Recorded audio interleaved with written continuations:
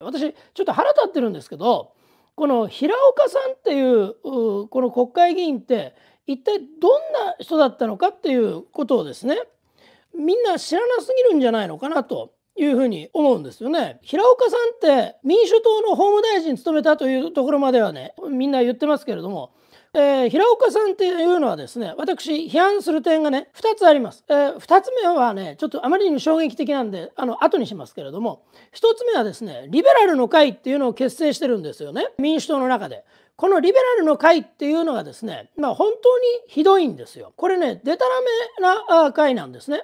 でじゃあちょっとねこのリベラルの会の結成にあたってのね文書っていうのを読んでみようと思います。リベラルの会結成にあたって私たちは東西冷戦に象徴されるイデオロギー対立の政治が終焉した21世紀こそ真の自由と真の民主主義を実現する世紀にしたいと思います。そして真の自由と真の民主主義こそが世界に平和をもたらし、個々人に光り輝ける人生をもたらすものと考えます。真の自由と真の民主主義を求めるっていうこと自体は全然問題ないですよ。別にそれ自体はそんなに悪いことじゃない。以上の基本認識のもと私たちは次の基本的な考え方を政策実現していくためにリベラルの会を結成します。憲法9条の精神を世界に広め生かしていきます。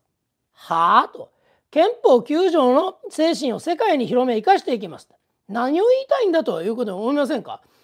憲法9条をですね世界に広めってじゃあ逆に言いたいこれ何年も経ってもですねどこにも広がってないじゃないかというふうにね思いません？だって憲法9条をですね採用してる国なんてないじゃないですか。で憲法9条万歳なんて言ってる先進国あるんですか？これもう話にならないですね。で次自衛隊は専守防衛に徹し一部の国を敵国扱いすることになる集団的自衛権は行使せず国連を中心とした集団的安全保障の確立を目指しますって言ってるんですね。これね2つともおかしいです。えー、一部の国を敵国扱いすることになる集団的自衛権は行使せず平岡秀夫という、ね、人物ですけれどもねこれが今山口2区で岸信千代候補とですね今戦ってる相手の作ったリベラルの会というもののこの自分たちが作ってる主意書ですね。でこれについてですね集団的自衛権は行使せずというふうに言ってるんです。一部の国を敵国扱いするから集団的自衛権を行使するわけではありません。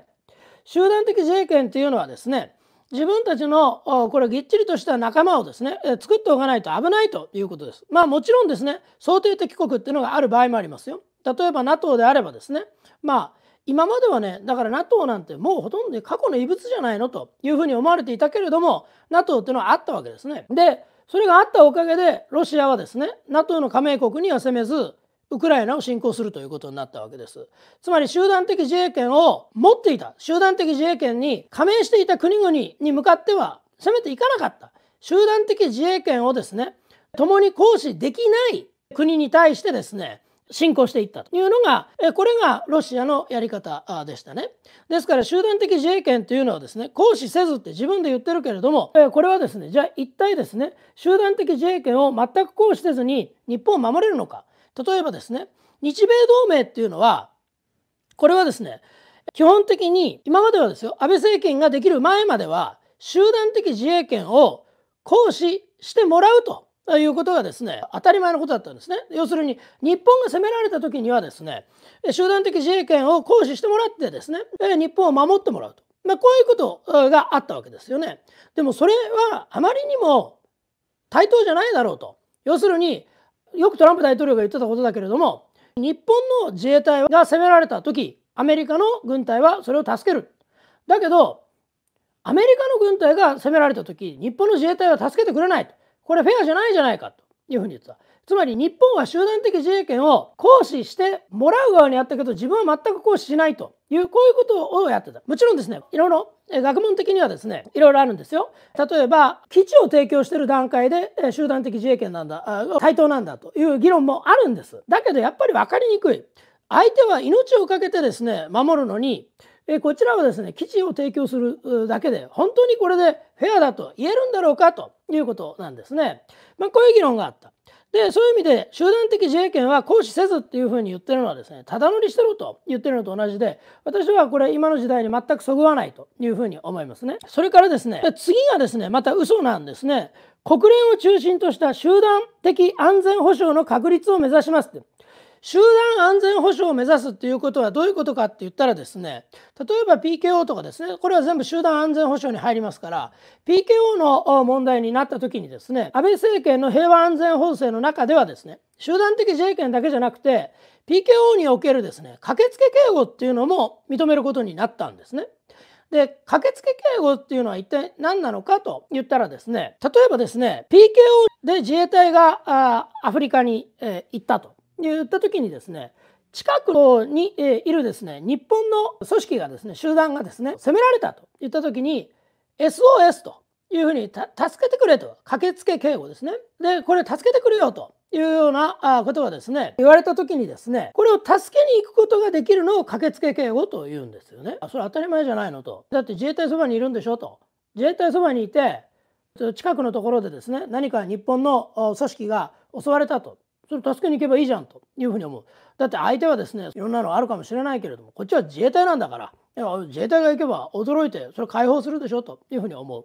ところがこの駆けつけ警護っていうのは集団安全保障の一環なのにもかかわらずですね日本では野党の反対によって民主党とかねこういった野党の反対によって認められてこなかったんですよずっと。安倍政権が平和安全法制を作るまでですね。そうしたことの中においてですね何が行われていたかって言ったらですね実際にあった話なんですよ。ルワンダの虐殺の後にですねザイールっていうところに、え、日本の自衛隊があこれは派遣されました。でその時にですねここに実際に行った方のですね手記をね私読んだことあるんですけどお医者さんの集まりがですねあってそれが襲われたというふうに言われてで助けてくれというふうに言われた時にですねあじゃあ自衛隊派遣しようというふうに言って助けに向かわせたんですよ。そしたらですねそこに朝日新聞がいましてね今認められてない駆けつけ警護なんじゃないんですか？と駆けつけ警護なんてやっていいんですか？というふうな質問をされたんですね人命を助けるためにですね自衛隊を派遣したということをですねこれをですね徹底的に批判されたんですよね。でこの人はもう自分を辞めなくちゃいけないというふうにねあの思ってすごい悩んだ。だけど参謀のね人たちがいろいろ考えた結果たまたまその地域にねドライブに行くことになったとか、まあ、そういう理屈をつけてですねなんとかね駆けつけ警護なんですよ実際は。だけどそれをやってないというふうに言わなくちゃいけなかった。これってねなんでこんなバカなことやってたかっていうふうに言ったら集団安全保障をですねできない体制を作っていたからです。だから集団安全保障の確立を目指しますって言ってるけどやってないんですね。で国連改革を推し進め新しい国連のもと積極的に世界平和の構築に取り組むとともに北東アジアの平和と安全のためにイニシアティブを取っていきますということなんですね。でもう一つ真に自立した市民一人一人が政治に参加することのできる市民に開かれた政治を目指します。そして市民に開かれた政治の中で社会的立場の弱い人を含むあらゆる人が安心して自由に暮らしていける社会の実現を目指します。まあこれはね言葉としては別に悪いこと言ってないんですけれども果たして一体市民と国民の違いって一体何なんだろうかとかですね真に自立した市民って一体何なんだろうかとかですねいろんなことをですね考えられるわけです。でそういった時にですね、まあ、このリベラルの会っていうのはまあ非常にまあ怪しいというふうに思いますね。でまあとにかくね憲法9条の精神を世界に広めるという発想自体がねやっぱり私は相入れないというふうに思います。これはねまだ序の口でこれがまず第一点なんです。リベラルの会の代表だったということ。ただですねもう一点はですねこれ皆さんね驚きますよ。北朝鮮に行ってキム・ジョンウン委員長万歳って叫んだ国会議員がいるんですよ。元国会議員ですね。もう当時は国会議員、え辞めてましたから、落ちてましたから。よろしいですか？もう一度。平壌に行って、キム・ジョンウン委員長万歳と叫んだ大物国会議員、元大物国会議員。これって一体誰って言った時に、この平岡さんなんですよ。平岡さんっていうのは法務大臣になるぐらいですね、大物の政治家だったわけですけれども、彼は北朝鮮にですね、え、言ってるわけです。例えばですね、これはですね、現代の2017年9月11日の記事なんですけれども近藤大輔さんという方がですね書かれている記事の中にこういうこと書いてます。白頭山偉人賞賛国際祭典。白頭山っていうのはですね、まあ、北朝鮮の聖地とされるところですね。白頭山神話っていうのがあってですね、まあ、ここで生まれたとかですねいろんなこと言われてる伝説の地なんですけれども北朝鮮から言うとですよ。参加していたのがですね野田政権時代に法務大臣の重責を担った平岡秀夫氏である。2015年5月に政界を引退した後表舞台から消えたと思いきや北朝鮮に現れたのであった。北朝鮮当局が撮影した映像を見ると革命の聖地白頭山でも金正恩委員長の最大の趣味であるバスケットボール観戦でも大はしゃぎである。極めつけはミサイルを開発する科学者や技術者たちとの対話集会である。平岡氏は危機として彼らの説明を聞き交流しているのだった。平岡氏にも包丁の真意を正した外務省は日本国民の北朝鮮への渡航自粛勧告を出していますが元法務大臣がその金を破ってよいのですか？北朝鮮の要人から渡航制限が厳しい日本と違って我が国は元法務大臣でも入国を制限しませんよと言われたくらいです。次に質問。北朝鮮のミサイルの脅威をどう考えていますか？日本国民が北朝鮮に怖さを感じているように、北朝鮮国民もまた日本の敵対的な行動に恐怖を感じています。初めて聞きましたよ。何が日本が敵対的な行動で北朝鮮に恐怖を与えるんでしょうかね。意味不明です。そして北朝鮮側も国際社会の理解を得たいという思いなのです。これ勝手に忖度してるんですよ。北朝鮮も国際社会で認められたいというふうに思ってると言うんですね。嘘ですよ。だったらミサイル発射しません。私は今回初めての訪朝でしたが、そのことが印象的でした。日本では北朝鮮と違って表現の自由も思想信条の自由も保障されている。だがそれでも、よりによってこんな時期に訪朝して金正恩委員長を来賛するのは常識外れとしか言いようがないというふうに書かれてますね。重要なのはですね、北朝鮮というのは日本に対して極めて敵対的な行動をしている国であるという国なんですね。で北朝鮮ほどですね日本に対してミサイルを撃ったりですねこういう敵対的な行動をしている国はありませんよ。この国に対してですね、まあ、日本は制裁を加えたりですねいろんなことをしています当然のことだと思います。だって日本は拉致被害者の問題も抱えているわけですよ。その北朝鮮に行ってですね金正恩を称える集会に出ている人が今回この選挙に出てるんです。でもこの事実についてマスメディアはですねほとんど触れてないじゃないですか。私はねこの平岡さんのね名前をね聞いた瞬間に思い出しましたよ。あれ？とこの平岡さんってあの平岡さんだよね？と法務大臣やってて北朝鮮に行ったあの平岡さんでしょ？というふうに思い出しました。でもね多分ね思い出した人結構少ないと思うんですよ。まあ、結構忘れちゃうから私みたいに執念深く覚え覚えてる人ってのはあまりいないんですけどね。だけどそういうことをねやった人なんですよ。で北朝鮮にはですねチュチェ思想っていう恐ろしい思想があるんですよ。キム家のためにですね命を捧げた人間こそが自由であるっていう全体主義思想があるんです。まあ詳しくは私文章でも論考でも書いたことありますし本にしたこともあるので是非お読みいただきたいと思います。チュチェ思想っていうんですけれどもそういうですね恐るべき全体主義、え思想を持ったですね国家に対してなぜですねここにね行った人間がこれはっきり申し上げて立憲民主党も菅直人さんもここに行って応援してるわけですけれどもこういった応援をねしていることに対して世襲が悪い世襲が悪いっていうふうにねなんか世論を誘導しようとしていますね今マスメディアはね。で世襲についての問題点があるというのはこれは認めていいですよ。